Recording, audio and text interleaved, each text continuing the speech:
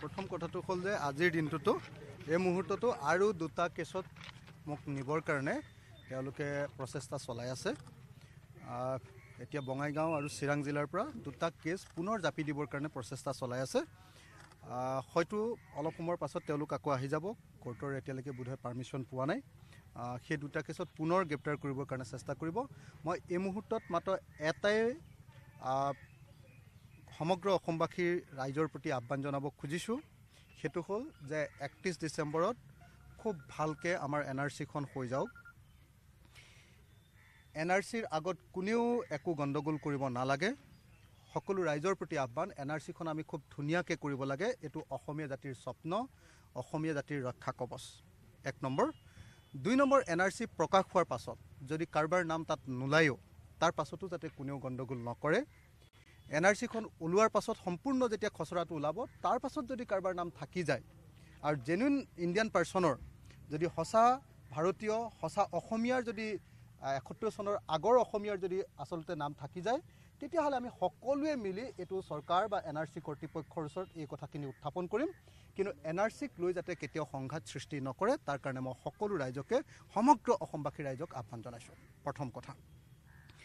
দ্বিতীয় কথা যে আমি কৃষক মুক্তি সংগ্ৰাম সমিতিয়ে এসত্তৰ চনৰ পঁচিছ মাৰ্চৰ পিছত অহা বা পঁচিছ মাৰ্চৰ দিনাৰ পৰা অহা সকলো ধৰণৰ বিদেশীক অসমৰ পৰা আমি পঠিয়াই দিব খোজোঁ। সেয়া হিন্দুৱে হওক সেয়া মুছলমানে হওক সেয়া খ্ৰীষ্টানে হওক কোনো বিদেশী অসমত থাকিব নোৱাৰিব এসত্তৰ চনৰ পাছত। কিন্তু দুৰ্ভাগ্যৰ কথা যে এতিয়াৰ বিজেপি চৰকাৰখনে নাগৰিকত্ব সংশোধনী বিধেয়ক এই বিধেয়ক আনি আচলতে অসমত বৰ্তমান থকা প্ৰায় বিছ লাখ হিন্দু বাংলাদেশীক অসমত ৰাখিব খুজিছে আৰু বাংলাদেশৰ পৰা এক কোটি সত্তৰ লাখ হিন্দু বাংলাদেশীক আমন্ত্ৰণ কৰি আনিব খুজিছে যিটো অসমীয়া জাতি ধ্বংস কৰিবৰ কাৰণে আটাইতকৈ ডাঙৰ ব্যৱস্থা হ'ব। গতিকে মই সমগ্ৰ অসমবাসী ৰাইজৰ প্ৰতি আহ্বান জনাইছোঁ। সমগ্ৰ অসমবাসী ৰাইজৰ প্ৰতি সমগ্ৰ সংগঠনসমূহৰ প্ৰতি মোৰ আহ্বান যে সকলোৱে মিলি আমি ইয়াক প্ৰতিহত কৰিব লাগিব। আমি হিন্দু মুছলমান খ্ৰীষ্টান জৈন সকলোৱে ঐক্যবদ্ধভাৱে থাকিব লাগিব। কিন্তু বিদেশী যিয়ে নহওক লাগিলে যি ৰাষ্ট্ৰৰ পৰাই নাহক লাগিলে আমি কেতিয়াও গ্ৰহণ কৰিব নোৱাৰোঁ। গতিকে বিজেপি আৰ এছ এছে আমাৰ সকলো পৰম্পৰা আমাৰ সকলো ডেম'ক্ৰেটিক ভেলু আমাৰ সকলো আইন কানুন আমাৰ সাংবিধানিক ব্যৱস্থা ভংগ কৰি বিদেশী আনিবৰ কাৰণে যি ব্যৱস্থা কৰিব খুজিছে তাক আমি কেতিয়াও মানি নলওঁ। মই এতিয়া ওলোৱাৰ পাছৰ পৰাই কৃষক মুক্তি সংগ্ৰাম সমিতিয়ে বিদেশী এন আৰ চিখন যাতে ভালকৈ হৈ যায় তাৰ কাৰণে আমি কাম কৰিম এক নম্বৰ। এন আৰ চিখন যাতে সম্পূৰ্ণ শান্তিপূৰ্ণভাৱে হয় আৰু যাতে কোনেও গণ্ডগোল লগাব নোৱাৰে তাৰ কাৰণে কাম কৰিম। তাৰপিছত দ্বিতীয় কামটোৰ কাৰণে কাম কৰিম যে এন আৰ চি ওলোৱাৰ পাছত সকলো ভাৰতীয় সকলো অসমীয়াক যাতে আইডেণ্টিটি কাৰ্ড দি দিয়া হয় ফটো আইডেণ্টিটি কাৰ্ড দি দিয়া হয় তাৰ কাৰণে কাম কৰিম। তাৰপিছত বাংলাদেশ বা নেপাল বা অন্য যি দেশ আছে তেওঁলোকৰ লগত আমাৰ দেশৰ যিসকল বিদেশী ওলাব তেওঁলোকক ইয়াৰ পৰা প্ৰত্যাপন কৰিবৰ কাৰণে চুক্তি কৰিবৰ কাৰণে আমি কাম কৰিম। আৰু তাৰ পাছত যাতে ডিপৰ্টেশ্যন যিবিলাক বাংলাদেশী ওলাই যায় বা যিসকল বিদেশী ওলাই যায় তেওঁলোকক যাতে ডিপৰ্টেশ্যন কৰে তাৰ কাৰণে আমি এতিয়া ধাৰাবাহিকভাৱে আন্দোলনৰ কাৰ্যসূচী গ্ৰহণ কৰিম। তাৰ উপৰি আটাইতকৈ গুৰুত্বপূৰ্ণভাৱে আমি যিটো কাম কৰিম নাগৰিকত্ব সংশোধনী বিধেয়কখন যাতে সম্পূৰ্ণৰূপে বাতিল কৰিবলগীয়া হয় তেনেকুৱা পৰিস্থিতি সৃষ্টি কৰিবৰ কাৰণে আমি কাম কৰিম। মই আকৌ দোহাৰিছোঁ যে হিন্দু মুছলমান খ্ৰীষ্টান যিয়ে বিদেশী নহওক লাগিলে এসত্তৰ চনৰ পাছত অহা কোনো বিদেশীকে ৰাখিব নোৱাৰোঁ আৰু ইয়াৰ আগতে অহা হিন্দু মানুহো আমাৰ লগত খুব শান্তিপূৰ্ণভাৱে থাকিব মুছলমানো শান্তিপূৰ্ণভাৱে থাকিব খ্ৰীষ্টানো শান্তিপূৰ্ণভাৱে থাকিব। এই ক্ষেত্ৰত আমাৰ কোনো ধৰণৰ বিভেদ নাই। কোনোবাই হয়তো ক'ব পাৰে যে আমি কিয় হিন্দু বাংলাদেশীক নাৰাখাৰ কথা কৈছোঁ? তেওঁলোক হিন্দু গতিকে ইয়াত থাকিবই লাগিব। এইটো কেতিয়াও হ'ব নোৱাৰে। আমাৰ দেশ ধৰ্মৰ দেশ নহয়। আমাৰ দেশ ৰিলিজিয়াছ কাণ্ট্ৰি নহয়। আমি সম্পূৰ্ণৰূপে গণতান্ত্ৰিক দেশ ধৰ্মনিৰপেক্ষ দেশ। গতিকে কোনো পধ্যে এই কাম আমি হ'বলৈ দিওঁ এই কথাকেইটাই ক'লোঁ। বাকী কথাখিনি পিছত ক'ম। এই পৰিস্থিতিত মোক বোধহয় আকৌ এতিয়া গ্ৰেপ্তাৰ কৰিবলৈ আহি আছে। গতিকে অলপ খৰধৰ আপোনালোকৰ পৰা আজি কৰিম। দুটা গোচৰৰ কথা ইতিমধ্যে আমাৰ ওচৰলৈ বাৰম্বাৰ খবৰ আহি আছে। এটা হ'ল যে বঙাইগাঁও জিলাৰ আপোনাৰ কি কয় এইটো দীনদয়াল উপাধ্যায়। দীনদয়াল উপাধ্যায়ৰ কেছত যিটো কেছত আকৌ আমাৰ ল'ৰাকেইটাক থানাতে জামিন দিছিলে। থানাতে জামিন দিয়া গোচৰ এটা। মোৰ ওপৰত যেনেকৈ আপুনি দেখিলে কালি পিয়াৰ বণ্ডত দি দিবলগীয়া হ'ল এইটো কেছত। বিয়াৰ পিয়াৰ বণ্ডত দিবলগীয়া কেছ মোৰ ওপৰত জাপি দিয়া হৈছে। দ্বিতীয় বস্তুটো হ'ল যে চাৰি পাঁচ বছৰৰ আগতে আপোনালোকে সকলোৱে জানে যে বঙাইগাঁও জিলাৰ ড্ৰাইভাৰ্ছ ইউনিয়ন আৰু ইয়াৰ স্থানীয় আমাৰ কৃষক মুক্তিৰ মানুহবিলাকে লগ লাগি ইয়াৰ এখন টোল গেট বন্ধ কৰিছিলে। সেই গোচৰটোত মই নায়েই অৱস্থাত বা সেই গোচৰটোৰ লগত মই কোনো পধ্যে জড়িত নহয়। চি ডিটো মোৰ নাম নাই এফ আই আৰটো মোৰ নাম নাই ক'তো নাম নাই আনকি চাৰ্জশ্বিটতো মোৰ নাম নাই। এতিয়া সেইটোক মোক ষড়যন্ত্ৰমূলকভাৱে আকৌ গ্ৰেপ্তাৰ কৰিব খুজিছে। আচলতে ৰাজ্যখনত এতিয়া আৰু কোনো গণতন্ত্ৰ নাই। বিজেপি আৰ এছ এছে স্বৈৰতন্ত্ৰ চলাইছে ইমাৰ্জেঞ্চিৰ পিৰিয়ড চলাইছে। আৰু মোৰ সৌভাগ্য যে গোটেই ভাৰতবৰ্ষৰ ভিতৰত পলিটিকেল এক্টিভিষ্ট হিচাপে ৰাজনৈতিক কৰ্মী হিচাপে সমাজকৰ্মী হিচাপে মোৰ ওপৰতে মোদী চৰকাৰে প্ৰথমবাৰৰ কাৰণে এন এছ এ জাপি দিছে। অন্য উগ্ৰপন্থী সংগঠনৰ ওপৰত উগ্ৰপন্থীৰ ওপৰত জাপি দিয়াটো বেলেগ কথা। সেইকাৰণে মই গৌৰৱান্বিত আৰু কৃষক মুক্তিৰ প্ৰত্যেকজন সদস্য গৌৰৱান্বিত যে এখন ফেচিষ্ট চৰকাৰ এখন স্বৈৰতান্ত্ৰিক চৰকাৰ এখন সাম্প্ৰদায়িক চৰকাৰ এখন ফেচিবাদী চৰকাৰ কমিউনেল ফেচিজিম চলাই থকা এখন চৰকাৰে কৃষক মুক্তিকে আটাইতকৈ ডাঙৰ শত্ৰুৰূপে গণ্য কৰিছে আৰু সেইকাৰণে আমি আটাইতকৈ বেছি সন্মানিত। এনেকুৱা এটা পৰিস্থিতিৰ সৃষ্টি কৰি দিয়া হৈছে যে মই ইয়াৰ পৰা সোনকালে পলাব লাগে নহ'লে আৰু মোক লগে লগে এতিয়া আকৌ গ্ৰেপ্তাৰ কৰা হ'ব। কেছ আহি আছে দুটা কেছ আহি আছে। এনেকুৱা ধৰণৰ এটা পৰিস্থিতিৰ সৃষ্টি কৰা হৈছে।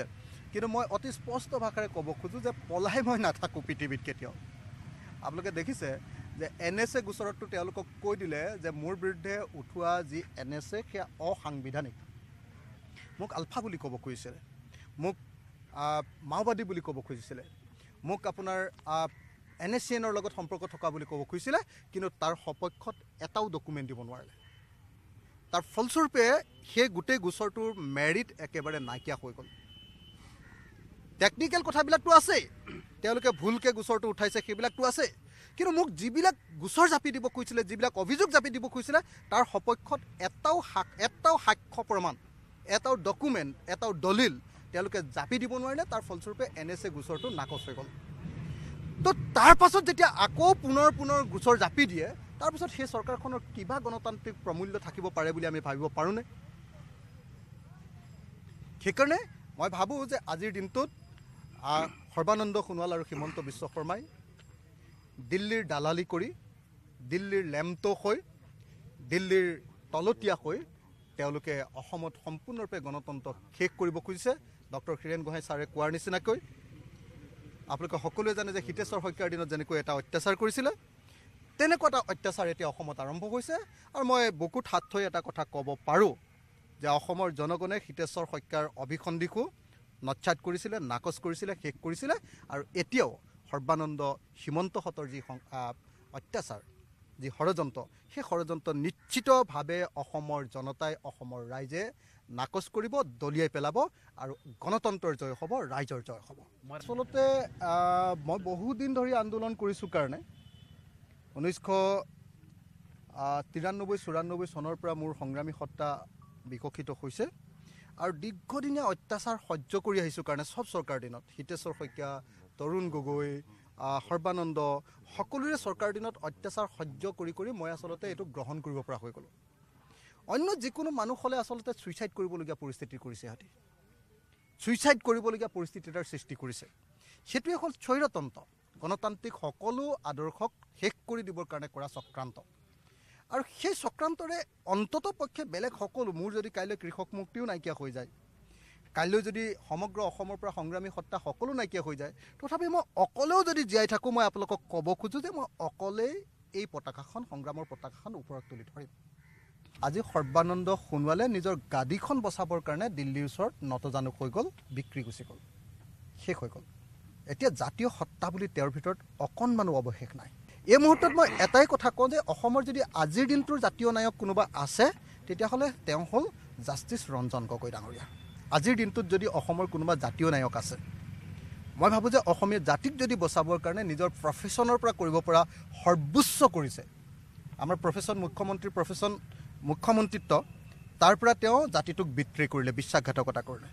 কিন্তু সেই একেই প্ৰফেশ্যনত থাকি তাতকৈ কঠোৰ এটা প্ৰফেশ্যনত থাকি ছুপ্ৰিম কোৰ্টৰ জাজ হিচাপে ৰঞ্জন গগৈ যি কাম কৰিছে আচলতে ৰঞ্জন গগৈৰ বাহিৰে এই মুহূৰ্তত অসমৰ কোনো জাতীয় নায়ক নাই।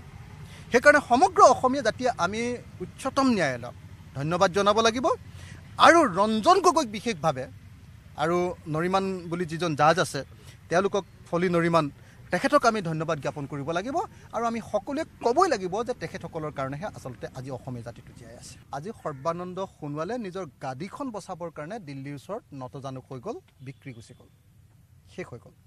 এতিয়া জাতীয় সত্তা বুলি তেওঁৰ ভিতৰত অকণমানো অৱশেষ নাই। এই মুহূৰ্তত মই এটাই কথা কওঁ যে অসমৰ যদি আজিৰ দিনটোৰ জাতীয় নায়ক কোনোবা আছে তেতিয়াহ'লে তেওঁ হ'ল জাষ্টিছ ৰঞ্জন গগৈ ডাঙৰীয়া। আজিৰ দিনটোত যদি অসমৰ কোনোবা জাতীয় নায়ক আছে মই ভাবোঁ যে অসমীয়া জাতিক যদি বচাবৰ কাৰণে নিজৰ প্ৰফেশ্যনৰ পৰা কৰিব পৰা সৰ্বোচ্চ কৰিছে আমাৰ প্ৰফেশ্যন মুখ্যমন্ত্ৰীৰ প্ৰফেশ্যন মুখ্যমন্ত্ৰিত্ব তাৰ পৰা তেওঁ জাতিটোক বিত্ৰী কৰিলে বিশ্বাসঘাতকতা কৰিলে। কিন্তু সেই একেই প্ৰফেশ্যনত থাকি তাতকৈ কঠোৰ এটা প্ৰফেশ্যনত থাকি ছুপ্ৰিম কোৰ্টৰ জাজ হিচাপে ৰঞ্জন গগৈ যি কাম কৰিছে আচলতে ৰঞ্জন গগৈৰ বাহিৰে এই মুহূৰ্তত অসমৰ কোনো জাতীয় নায়ক নাই। সেইকাৰণে সমগ্ৰ অসমীয়া জাতিয়ে আমি উচ্চতম ন্যায়ালয়ক ধন্যবাদ জনাব লাগিব। আৰু ৰঞ্জন গগৈক বিশেষভাৱে আৰু নৰিমান বুলি যিজন জাজ আছে তেওঁলোকক ফলি নৰিমান তেখেতক আমি ধন্যবাদ জ্ঞাপন কৰিব লাগিব। আৰু আমি সকলোৱে ক'বই লাগিব যে তেখেতসকলৰ কাৰণেহে আচলতে আজি অসমীয়া জাতিটো জীয়াই আছে।